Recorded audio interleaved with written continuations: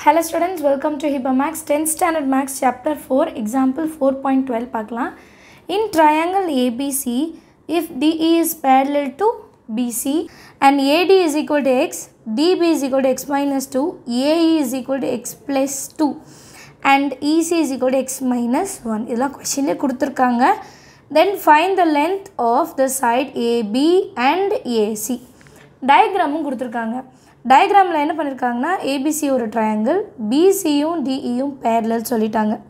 So இந்த parallel condition வந்தாலே BPT theorem or Thales theorem சரிங்களா? அந்த தியரம் வச்சு தான் சால்வ் பண்ண போகிறோம் ஸோ கண்டிஷன் எழுதிடலாம் in triangle ABC DE is parallel to BC so by Thales theorem AD by DB is equal to AE by EC AD by DB is equal to AE by EC இது மனப்பாடமாக தெரியணும். சரிங்களா?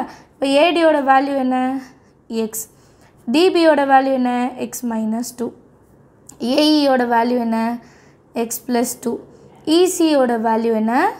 X minus one இதை cross multiple பண்ணலாமா? Cross multiple பண்ணால் X into X minus one இது அந்த side போடணும்.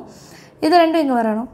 எக்ஸ் ப்ளஸ் டூ இன்னொன்று எக்ஸ் மைனஸ் டூ இப்போ இன்சைட் மல்டிபிள் பண்ணலாமா? X into X X square minus X one jar X is equal to இந்த term எப்படி இருக்குன்னா A plus B into A minus B அப்போ ஏ ஸ்கொயர் மைனஸ் பி ஸ்கொயர்னு எழுதிக்கலாமா? ஏ இருக்கிற இடத்துல எக்ஸ் ஸோ ஏ ஸ்கொயர்னு எக்ஸ் ஸ்கொயர் மைனஸ் பி இருக்கிற இடத்துல two so minus two square அடுத்த லைனில் இந்த எக்ஸ் எல்லாம் ஒரு சைடு கொண்டு வந்துடலாம். X square minus X plus X square equal to other side வந்தால் minus X square is equal to minus two two jar four அப்போ மைனஸ் ஃபோர்னு எழுதிக்கலாமா? Plus X square minus X square cancel balance நமக்கு என்ன இருக்கும்? Minus X is equal to minus four minus minus plus ஆகிடும் எக்ஸோட value four கிடச்சிருச்சா? AD is equal to X that is equal to four DB is equal to X minus two X இருக்கிற இடத்துல four அப்புறம் minus two four minus two வந்து two ஓகேவா அடுத்தது AE AE வந்து x plus two X இருக்கிற இடத்துல நான் ஃபோர் எழுதணும்.